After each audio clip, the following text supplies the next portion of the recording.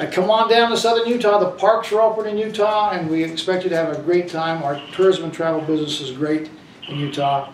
It's gonna continue to be great for the next ten days, I can tell you that for sure.